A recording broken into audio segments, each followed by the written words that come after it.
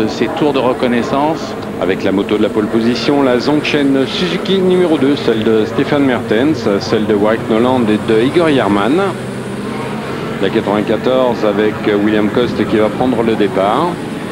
La Yamaha R1 avec l'injection, elle est encore en, période euh, bah, d'évolution alors que les Suzuki ont déjà un peu plus de bouteilles. Ça fait euh, deux saisons qu'elles sont là. Etienne Godard, une 1000 GSXR pour un team privé, est une bonne option? Je pense que c'est euh, la bonne option. Euh, c'est un petit peu dommage pour le spectacle. Euh, ça a fini par devenir un peu une coupe monomarque.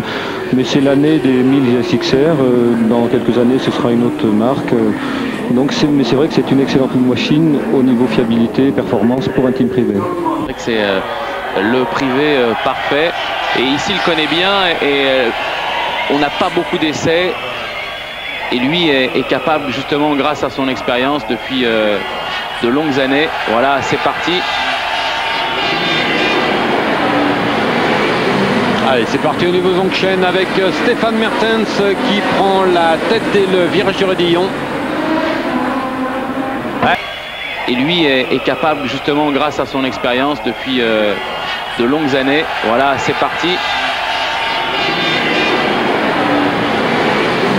Allez, c'est parti au niveau Zongchen avec euh, Stéphane Mertens qui prend la tête dès le virage du Redillon.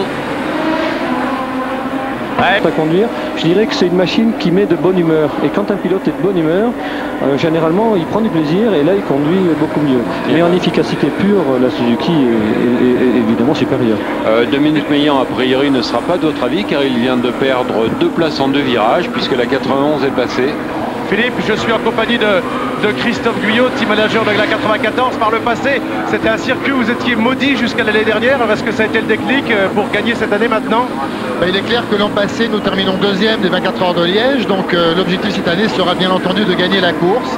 D'autant qu'elle est hors championnat du monde. Donc euh, on a vraiment peu de pression et on va essayer de tout faire pour gagner la course vous avez un équipage homogène. Les, années précédentes, je crois que vous n'arriviez même pas à rentrer dans les poids. C'était vraiment un, circuit où vous étiez noir. Oui, vraiment, on a eu beaucoup, beaucoup d'échecs ici à Spa-Francorchamps. Euh, beaucoup de, casses, de chutes, euh, d'ennuis euh, mécaniques d'hiver et chutes, beaucoup. L'an dernier, on a vraiment conjuré le mauvais sort et on était vraiment très heureux de cette deuxième place qu'on a considéré vraiment comme une victoire. Mais aujourd'hui, maintenant, on aimerait vraiment gagner pour de bon. Merci, d'autant qu'on rappelle que Scarlato, il avait réussi à un grand prix, une arrivée de grand prix. Il avait passé ses bilots sur la ligne pour la deuxième place.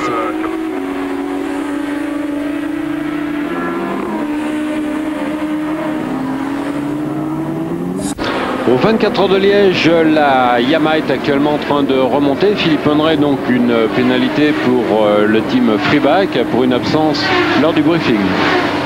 C'est toujours euh, très rageant comme ça de prendre une pénalité en début de course. Vous savez, la course, comme on le disait tout à l'heure, va être longue. Là, on voit les trajectoires déjà séchées. Hein, ces trajectoires. oui, Rémi. Et la première moto au stand, malheureusement, c'est la MV Agusta, le belge Kazer, qui vient de, rentrer à l'instant même. Ah, une moto extrêmement puissante, 180 chevaux au banc. Cette machine, on a beaucoup travaillé et sous la pluie des pilotes qui euh, eh ben, sont très très rapides. C'est dommage pour eux là. Et oui, on, voit très bien les trajectoires euh, séchées et des pneus pluie qui vont euh, beaucoup s'user et se détruire. Et des machines qui devraient euh, dans quelques temps rentrer pour passer les slicks puisque là on voit de plus en plus de grandes grandes bandes complètement sèches. Alors là ce qui est, ce qui est plus difficile c'est de voir sur les nouvelles portions justement euh, les parties sèches quand euh, le bitume est très très noir, surtout la nuit, les, portions qui ont été refaites. Parce que le circuit n'est pas éclairé euh, la nuit, donc c'est très très difficile de rouler vite dans ces conditions. Avec toujours la Suzuki Zongchen en première position, la numéro 2 celle de Stéphane Mertens de White Noland ainsi que d'Igor Yarman. Vous de rentrer au stand, qu'est-ce qui se passe Il ne marche plus au-dessus de 9000 tours, donc on ne sait pas trop bien. C'est la première fois qu'on a eu ça si je sais pas, vous avez réussi à nous entendre Philippe, mais donc le moteur de la MV Agusta ne marche plus au-dessus de 9000 tours. Oui, on avait, on avait entendu Rémi, ça passait. Et là voilà une euh, partie euh, de plus en plus sèche alors qu'on a vu que c'était encore très très mouillé euh, dans la dernière courbe et dans cette descente justement et dans la dernière courbe avant la chicane. Et Étienne Godin, une très belle remontée de la Yamaha actuellement. Oui, c'est ben, c'est les circonstances, euh, comme disait Philippe, euh, les plus difficiles concernant euh, l'état de la piste. Il vaut mieux une piste, un pilote préfère toujours une piste complètement mouillée ou complètement sèche. Mais là, c'est extrêmement dur à gérer puisque les conditions d'adhérence changent à chaque tour.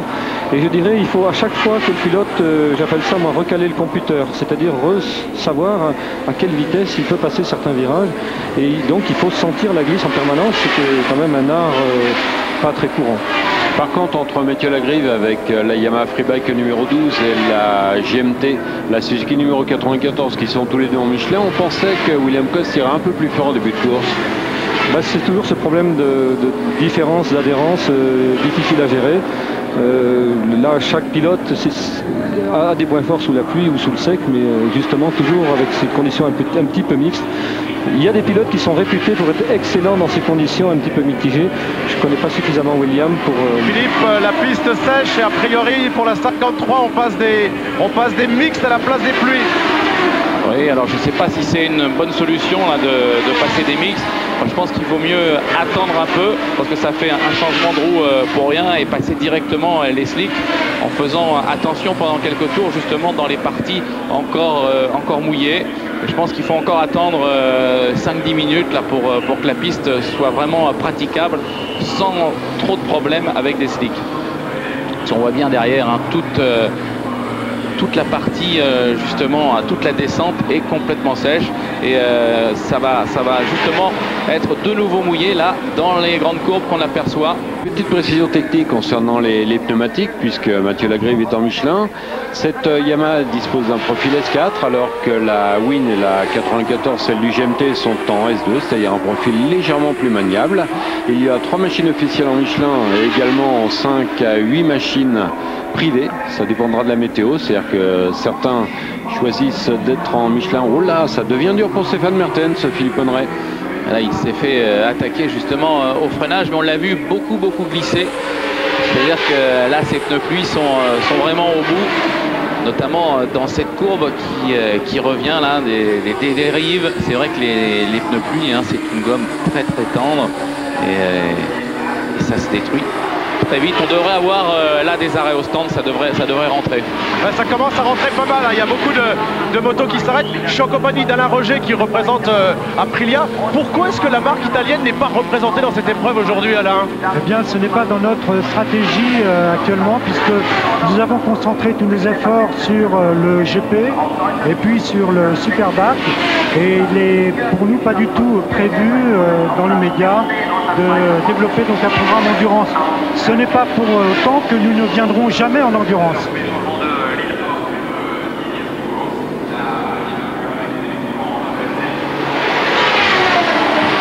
Course continue actuellement avec euh, Philippe Honret, Stéphane Mertens qui perd de plus en plus de place. Ah, Stéphane Mertens qui a attaqué très fort hein, depuis le début de, de cette course pour, euh, pour essayer de creuser l'écart.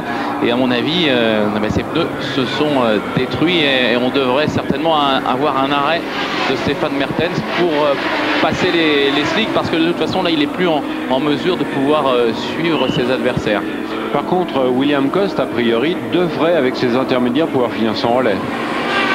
Euh, si vous, vous êtes sûr qu'il est en intermédiaire Oui. Normalement, c'est ce qui était prévu. Moi j'ai l'impression que je le vois en pluie, mais euh, bon, euh, on, on va voir.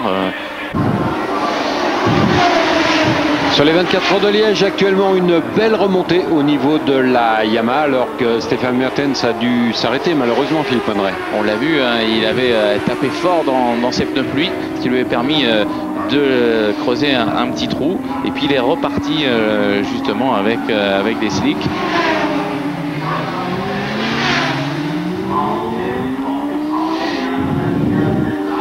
C'est vrai que Mertens va devoir être euh, dans les premiers tours relativement prudent euh, dans les endroits encore humides.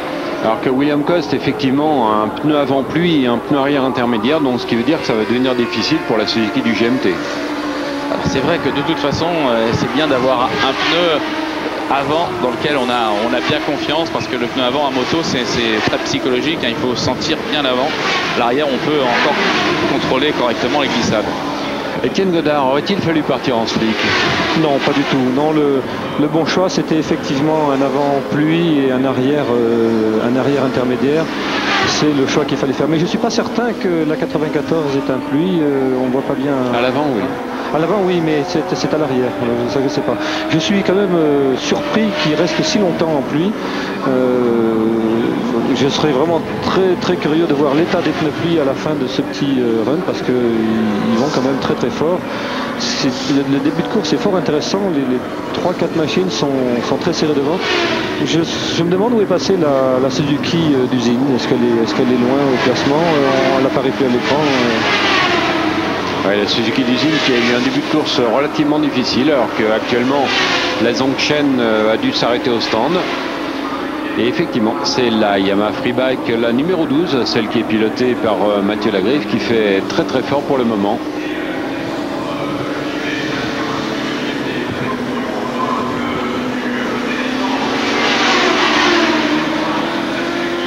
Étienne Godard a un choix très difficile en termes de pneumatique. On voit que les machines glissent beaucoup actuellement. Oui, on le voit euh, particulièrement au freinage. Euh, ça, bouge un peu dans tous les sens. On sent que les pilotes sont sur des œufs et ça doit être euh, très très difficile à, a, bien dosé. Ceci dit, euh, comme on dit en termes de pilotage, un pneu pluie euh, sur le sec qui glisse, on dit que ça téléphone bien, c'est-à-dire qu'on le sent se mettre en dérive, on le sent, euh, on a l'impression un peu de rouler sur un, sur un tapis roulant en quelque sorte. Tandis qu'un pneu qui décroche tout d'un coup et qui n'est pas rattrapable, ça c'est beaucoup plus, c'est impossible à conduire. À l'accélération également, c'est difficile. Oui, oui, oui. Et le, gros progrès des pneumatiques euh, ces dernières années a été justement, à mon avis, d'une part dans la largeur, mais surtout dans cette, euh, cette sensation qu'on peut avoir au guidon de sentir le pneu glisser. Alors justement, excusez-moi de vous je suis avec Christophe Guyot, c'est un choix délicat pour vous de rester en pneu plus. Et comment vont être les pneus en fin de run? Pour l'instant, c'est le pilote qui décide sur la moto. William Coste est extrêmement expérimenté. Il connaît parfaitement bien les pneus Michelin qui ont la particularité euh, de rester efficace même sur le séchant. Combien de temps on ne peut pas le savoir, mais c'est vrai que normalement c'est un léger avantage dont on peut profiter. D'ailleurs, on voit que les deux motos devant euh, sont équipées de pneus Michelin. Et euh, en attendant, c'est William Coste qui va décider. Nous, on observe au tableau les temps que réalisent les pilotes en slick. C'est le cas de la numéro 2 de Stéphane Mertens. Dès qu'on verra que les slicks vont plus vite que les pluies, on fera certainement rentrer William s'il ne le fait pas de lui-même. Alors Philippe André, euh, pour le moment, William Coste n'est pas rentré au stand, donc euh, une course particulièrement courageuse de la part de William. Ouais, je pense que de toute façon, ça va être la bagarre ici entre Dunlop et, Michelin. Nous, euh, on est équipé de Dunlop, des tout nouveaux Dunlop qui, en tout cas sur le sexe, sont très très efficaces. Sous la pluie, on a pu on le regarder. C'est vrai que c'était pas mal non plus, mais dans ces conditions, alors là, ben, c'est un petit peu difficile de pouvoir juger un pneumatique. C'est toujours difficile de changer de marque de pneumatique en cours, euh, en cours de saison hein, parce que le, pilote a, un feeling et il retrouve un autre feeling avec une autre marque de pneumatique. Alors euh, ben, c'est pour ça que, souvent on préfère euh, faire tout un championnat avec les mêmes pneumatiques pour garder ce, feeling. Chaque manufacturier a des caractéristiques différentes. Donc effectivement on aime bien avoir les mêmes pneumatiques pour tout un championnat et on, attend toujours avec impatience les évolutions. Hein. C'est pour ça qu'on attendait avec impatience ces nouveaux Dunlop dont on peut disposer euh, heureusement ici à Spa. Et on voit toujours que la 91 actuellement est en train de menacer William Coste avec la 94. Etienne Godard, est une surprise? Une demi-surprise. En tout cas, euh, c'est très impressionnant. Euh, mais là, il va lui faire le freinage, c'est clair, au niveau de la source. Est-ce que William commence à être un petit peu au bout de ses pneus? C'est la question qu'on peut se poser. Oui, là, encore une glisse. Et puis euh, la 94 est repassée devant. Ah, ils sont vraiment dans une attaque totale. Euh, la 91 a souvent été bien placée. Euh, en, début de saison, ils ont fait une cinquième place superbe au 100 Mola. ils ont eu souvent des chutes. Ils sont ils sont à deux doigts de passer au stade au-dessus et, nous c'est ce qu'on cherche également.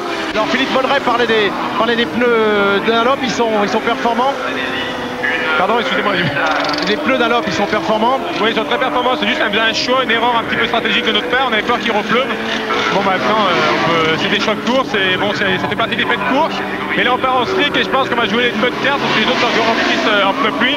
Et on s'est rendu compte que Stéphane Mertens, qui a changé trois tours avant, est plus vite que tout le monde avec les slicks. Merci Christian. Et on a vu. Euh, au freinage de la chicane, une chute, une machine qui est qui s'est dérobée de l'avant. Alors encore des traces d'humidité à cet endroit et il est difficile de pouvoir garder fort le frein.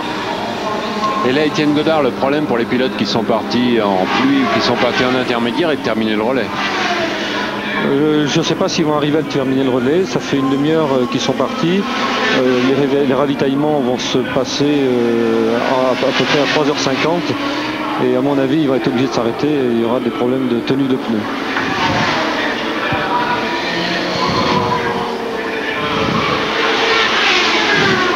Meilleur chrono actuellement pour la Suzuki Castrol, la Suzuki Zongshen, pardon, celle de Stéphane Mertens, de Warwick Noland et de Igor Yerman. Et a priori, sur une course de 24 heures, le gros problème est de trouver un bon troisième pilote. C'est ce qu'on a vu depuis le début des essais. Euh, de trouver un bon euh, deuxième et troisième pilote, d'avoir un, équipage euh, homogène, ça c'est quand même très important. Et la règle qui, prévoit actuellement, à savoir que la qualification se fait sur la moyenne des trois pilotes, euh, est une excellente chose. Euh, on parle de revenir un petit peu en arrière et de faire la qualification euh, au niveau de la pôle.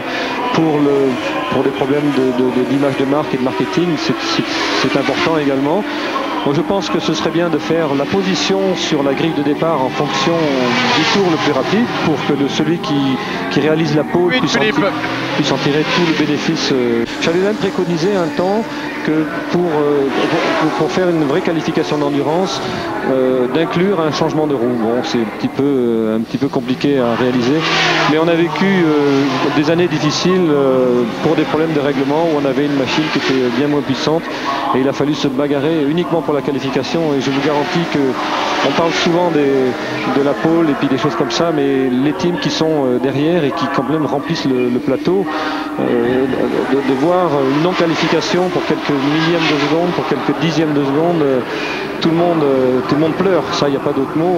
Alors, Étienne Godard, on va prendre un petit peu de recul. Il y a cette année un championnat du monde d'endurance. Il y a également le Master. Donc, le Master avec les 24 heures du Mans, c'est 24 heures de Liège et aussi le bol d'or. En Superbike, il va falloir une clarification puisque le championnat du monde se retrouve maintenant avec des courses très courtes. Il y a des courses de 200 miles, donc ça fait 2h20. Et ça finit par ressembler à, des, manches de superbike rallongées. Il risque d'y avoir une confusion évidemment au niveau des, spectateurs. Euh, moi, je, en superbike, j'en suis pas convaincu. Euh, à part, bien sûr, évidemment, s'ils gardent le même, le même timing. On ne sait pas trop ce que, ce que veulent les, organisateurs, les promoteurs. Il y, a des, il y a des pressions, il y a des c'est toujours intéressant d'avoir des euh, visuellement de voir des changements de pneumatiques, mais une course d'endurance, c'est une course d'endurance. Euh, moi, je pense qu'une course d'endurance euh, ne doit pas faire moins de 8 heures. L'idéal, la vraie course d'endurance, c'est quand même, sont quand même des courses de 24 heures avec la magie de la nuit, et puis on peut se, rattraper. Ça reste une aventure complètement humaine. alors qu'en Grand Prix, bon, c'est aussi la mise en avant d'un seul pilote. Euh, c'est plus une équipe, c'est complètement différent. On a un peu le même cas de figure avec les Zongchen qui ont quand même euh, bénéficié de, l'appui financier de Zongchen qui était euh, conséquent, qui, leur a permis de tenir jusqu'à présent. Donc ils ont pu faire des erreurs qui coûtaient de l'argent mais qui leur ont permis évidemment de progresser. Et là, euh, il commence à être bien efficace dans les stands, euh, avant la gestion de la course. L'endurance, c'est une équipe. Hein. Il n'y a, plus d'individualité, c'est un, travail collectif. Et c'est pas parce qu'il y a une bonne, euh, cuisine ou, un, bon pilote que ça va suffire. Il faut que tout soit bon. Un ravitailleur qui fait une bêtise peut faire perdre la course. Un chronométreur qui fait une bêtise. Tout le monde doit être bien dans son rôle. Et c'est ça, je trouve, qui est vraiment intéressant dans l'endurance. Alors que William Coste persiste et signe actuellement, il est en troisième position, on vient de se faire passer par la Suzuki numéro 1, la Suzuki de Christian Lavieille, de Brian Morrison et de Laurent Briand. Euh, d'après vous, est-ce une bonne raison pour William Coste d'insister alors qu'il n'est pas chaussé d'une manière idéale? Je ne sais pas si William Coste ne euh, s'est pas arrêté, ou alors s'il s'est pas arrêté, euh, il va s'arrêter dans les minutes qui viennent. Donc, ah non, il s'est pas arrêté, il est toujours, il est toujours en tête, en tête du classement. Mais non, il est troisième. Hein. Il est troisième, oui, mais il est dans, les premiers. Hein, c'est ma, manière de dire. Et il a, il va, il va s'arrêter là dans les minutes qui viennent. Ça peut pas être autrement. C'est pas possible. Aussi va s'arrêter. De retour à Spa-Francorchamps avec euh, la Suzuki du team du Guyot Motorcycle Team, celle de Christophe Guyot, de William Coste et de Sébastien Scarnato, leader actuellement avec 26 secondes d'avance, devant la Suzuki du team de Dominique Pellion, de Christian Lavieille, de Brad Morrison et de Laurent Briand. Un team particulièrement brillant qui a bien évolué sur le plan technique. Oui, tout à fait. Je pense que leur engagement euh, a été joué à long terme et c'est maintenant ça commence à payer. Euh, je pense qu'ils sont ils sont remerciés de, tous leurs efforts euh, avec des résultats qui, sont à la, hauteur de leur investissement. Et euh, je les ai suivis euh, sur des courses autres que le championnat du, championnat du monde aussi, à Macao, aux 8 heures de Suzuka oui, Rémi. également. Excusez-moi de vous couper, je suis en compagnie d'un garçon pressé parce qu'il va bientôt monter sur la machine. La machine de tête, c'est Christophe Guyot. Ça se passe très bien pour vous pour l'instant, c'est Scarlato qui mène la course. Oui, il mène la course, puis il la mène vraiment magistralement. Là, j'ai des coéquipiers vraiment en or entre William Cos qui a déjà ramené la moto en tête et maintenant Scarnato qui creuse l'écart. Euh, vraiment, euh, il m'impressionne. Ils vont vraiment très très vite parce que je peux vous assurer que sur la Suzuki numéro 2 et surtout la Suzuki numéro 1, il y a vraiment de gros clients en face et c'est vraiment fabuleux. La course que sont en train de réaliser euh, pour l'instant William Coste et Sébastien Scarnato. Alors les consignes, ça va être quoi? Vous allez vous les donner vous-même puisque vous êtes le patron et le pilote? Oh, la consigne, on l'a depuis le début. On est venu à Spa pour essayer de gagner. On est là que pour ça. On n'a pas d'autre pression puisque euh, la course ne compte pas pour le championnat du monde. Mais vraiment, on veut prouver qu'on est un team euh, qui va vite. Et on veut euh, bah, faire mieux que notre deuxième place de l'an passé. Merci Christophe. Et je me tourne maintenant vers Julien Dacosta. C'est la numéro 72. Oui, on est bien parti et Guillaume a fait des bons relais sous la pluie. Il s'est arrêté juste quand il fallait. Il a fait un choix judicieux en repartant en mixte au lieu de slick. Et il a repris un petit peu pendant son deuxième euh, euh, relais. Donc euh, on a repris un peu d'avance sur les motos de tête et on est cinquième maintenant. Alors Hervé Moineau, votre ancien patron, disait que c'était son circuit préféré, c'est l'un des plus beaux circuits au monde, vous qui découvrez, vous êtes d'accord? Oui, oui, je suis d'accord. tout le monde dit que Spa c'est un monument et c'est vrai, c'est une légende. Bon, ça reste un peu dangereux hein, malgré la beauté du circuit, mais bon, on fait avec. Merci.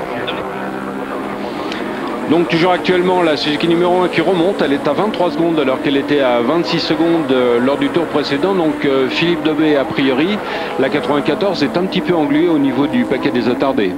Oui, on voit Sébastien qui se démène pour essayer de dépasser les attardés dans, dans des endroits assez chauds. Euh, il veut pas se laisser faire, c'est normal. Chôme pas, oui. Alors euh, Philippe Debé, a priori votre carrière pourrait prendre euh, un nouvel essor dans la mesure où quatrième pilote chez Suzuki c'est pas forcément un avenir. Que préparez-vous pour l'année prochaine? Eh ben, pour l'instant, je suis toujours dans l'attente. Euh, c'est vrai que depuis les bons résultats des 24 heures du Mans, ça parle un peu à droite et à gauche. Mais pour le mois de juillet, il n'y a pas beaucoup d'importateurs qui ont défini leur programme pour l'année 2003, donc personne n'est fixé vraiment. Alors, je me euh, tourne, Philippe, je, oui, je me tourne vers euh, Pierre Libeur. Alors que la 94, la Suzuki Team GMT est toujours euh, leader avec 50 tours de couvert. Elle a 24 secondes d'avance par rapport à la Suzuki numéro 1. Philippe, je suis avec un garçon qui a 35 ans d'expérience en endurance. Dominique Mélian du CERF, vous êtes pour l'instant second, vous êtes en train de chasser. Quelle est votre tactique chez Suzuki? Non, pour l'instant, on chasse, on chasse trop fort. On attend un petit peu de voir comment ça va se passer. Les conditions sont quand même très incertaines, la piégeuse. Donc on attend, on regarde, on observe, sans se laisser distancer surtout. Et puis après, on va voir comment euh, on pourra remonter un petit peu, recoller euh, à la moto de tête. L'écart entre la Suzuki du GMT, la 94, et la Suzuki officielle du team de Dominique Mélian est de 23 secondes, un écart euh, Philippe Debé qui reste à peu près stable. Oui, oui, tous les deux sont prudents sur les dépassements. On voit qu'ils forcent de temps en temps, mais ça reste très dur. Puis ils sont équivalents, c'est des pilotes qui sont très bons et c'est dur de reprendre du temps sur l'autre. Lors du bol d'or, depuis, il a eu le temps de se retourner, de consulter les médecins, voir un peu ce qu'il pouvait avoir. Donc euh, là, il a suffisamment de recul et... Nous nous retrouvons dans quelques instants sur le circuit de Spa.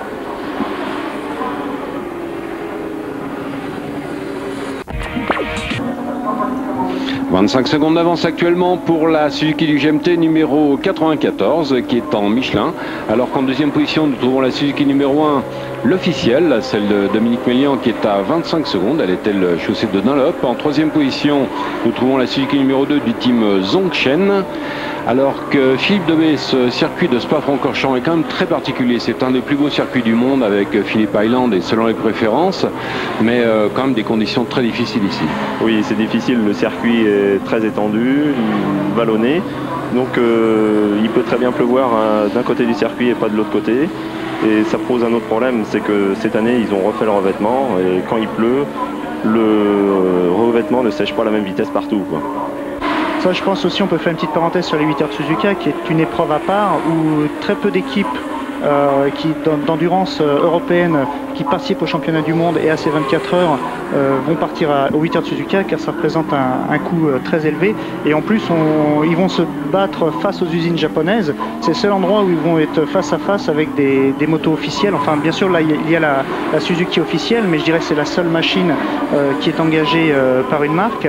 Mais au Japon toutes les marques sont présentes et je dirais que les, quasiment les, les six premières places sont vraiment inaccessibles euh, en participant avec une, moto dérivée de la série. Euh, donc, euh, mais bon, c'est une course très intéressante. Je pense pour les pilotes, c'est un très très beau circuit aussi. des conditions de course très particulières avec une chaleur, une moiteur qui est, qui est un peu spécifique à l'Asie. Mais je, je pense que c'est intéressant pour tous les teams. Je crois que le GMT va y aller, Zongshen bien sûr va y aller. les teams de pointe vont être présents à Suzuka. Ça sera aussi une course à suivre. Oui, tous les teams permanents effectivement qui sont engagés en championnat du monde. Donc Franck Perret, vous êtes correspondant de Motojournal au Japon. Quel est le jeune pilote japonais que l'on va voir surgir dans l'avenir? Je pense que ça va être aussi une course de team manager, parce qu'il va falloir faire les, bons choix euh, pour les arrêts des machines, pour les pleins, repartir avec quel type de pneus. Et je pense que ça, c'est vraiment, ça va être le gros problème. Je pense que ça va être un gros problème et ils n'ont pas d'autre choix que d'aller à fond quand euh, tout va bien. Voilà les écarts actuellement entre les machines de tête. 25 secondes entre la Suzuki numéro 94 des leaders, celle du GMT et celle de Dominique Mélian actuellement. Donc 25 secondes et 0 dixième. Et 1 minute 24 secondes par rapport en troisième position à la Suzuki Zongshen. Alors qu'en quatrième position, nous avons la Suzuki du Junior Team avec le numéro 72 la première des non-Suzuki, pourrions-nous dire. La Yamaha numéro 38 occupe la cinquième position à seulement 1 seconde et 4 dixièmes de la Suzuki numéro 72. Rendez-vous demain matin à Spa-Francorchamps pour les 24 heures de Liège.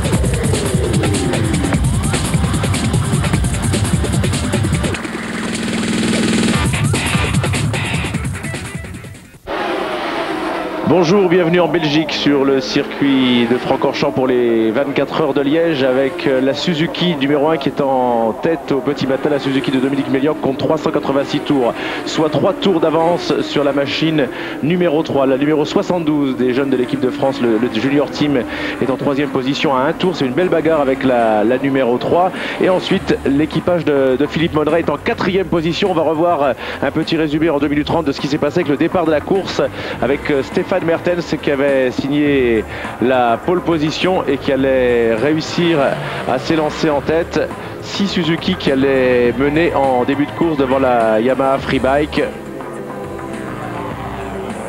on est en compagnie de Valérie Moreno pour euh, commenter cette épreuve. On retrouvera dans quelques minutes Philippe de Barle dans les stands. C'est vrai que les trois premières heures de course, ça a été vraiment une domination, archi-domination Suzuki, Valérie. Oui, on a eu un petit, un petit souci, un, petit peu de piment en début de course parce qu'avec la piste humide, ça a été un petit peu perturbé au niveau du classement. Mais au bout d'une heure, les choses sont rentrées dans l'ordre et on avait trois Suzuki devant, donc les Suzuki de pointe qu'on retrouve encore un petit peu maintenant. Il y a quelques absents euh, aujourd'hui au, classement, mais euh, on, en parlera, c'est la, 94. Avec euh, le début de la nuit, un début de la nuit que n'a pas vu l'infortuné Mathieu Lagrive qui s'est accroché dans le raidillon avec Bertens et qui a dû abandonner. La numéro 1, elle était en tête. Le premier abandon, donc, c'était la free bike. À noter qu'à ce moment de la course, en dixième position, c'était la Suzuki de Nistrum Roche et Guérin qui menait la catégorie Stock Sport. Une nuit clémente, sèche, mais à 2h39, alors que la Suzuki numéro 1 de la vieille menait toujours la danse devant celle de Dorjex, Ullmann et Morillon. Et Jean d'Acosta et Guillaume Détriche pointent à deux tours. Le safety car est rentré en piste dans le rayon. Christophe Guyot a chuté après un décrochage de sa Suzuki. Il a percuté les mousses de sécurité. Sa moto a été renvoyée sur la piste. Elle était accrochée alors par Cochard en guidon de Sayama R1 et par Wilbrock sur une Aprilia. Et si ce dernier s'est relevé indemne, en revanche, Guyot et Cochard ont été évacués en ambulance. Et c'est quand même assez grave pour Christophe parce qu'il devrait être opéré. Oui, Christophe est blessé à la malléole, au tibia. On doit le rapatrier sur Paris pour l'opérer. Euh, c'est un petit peu, euh, c'est un, gros problème pour le GMT parce que ça, signe un petit peu la, fin de, de, saison pour Christophe. Les autres vont devoir continuer euh, tout seuls en, en, championnat du monde et au bol d'or. On va avoir un classement et puis également, on va faire le point sur les abandons. Donc les principaux abandons, bien sûr, c'est Christophe Guyot, Lagroïve, Navo, Mertens, Jean-François Cortilovis pour Cristobal, pour tous ces garçons. C'en est malheureusement terminé. Même chose pour Christophe Guyot, pour Wilbrock, on en a parlé, pour Cochard, pour la Honda numéro 71, vous voyez, sur un problème mécanique. C'est peut-être le moment de faire un tout petit point sur les abandons des grands favoris, puisqu'on avait déjà eu hier après-midi la chute de Mathieu Lagrive sur la freebike, qui était un petit peu la seule non-Suzuki à pouvoir rivaliser avec l'Armada. Il y a eu ensuite la chute de Mertens sur la Zongchen numéro 2 et l'abandon, une chute de Scarnato sur la 94, mais qui avait simplement relégué la, GMT à 5 tours. Et puis, euh, après, il y a eu cette chute de la 94. Euh, la 94 a disparu du classement après la chute de Guyot. Vous parliez il y a quelques instants de Christophe Guyot. Christophe Guyot qui a une fracture du tibia,